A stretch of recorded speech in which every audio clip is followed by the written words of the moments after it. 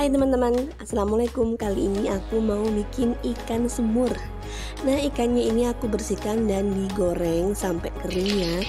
Dan bumbu-bumbu yang dihaluskan seperti yang aku tulis ini ya di chopper. Selanjutnya ditumis hingga dia pecah minyak atau keluar minyaknya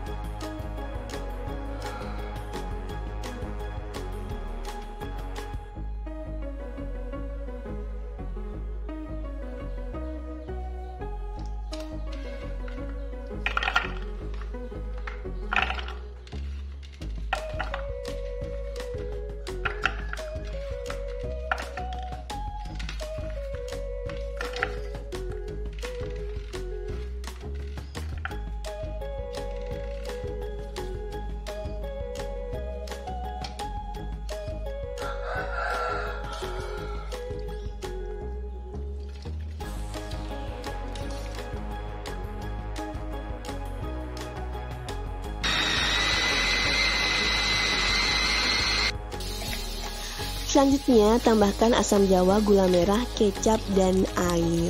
Terus dimasak hingga mendidih. Lalu terakhir nih masukkan ikan gorengnya dan masak hingga airnya meresap.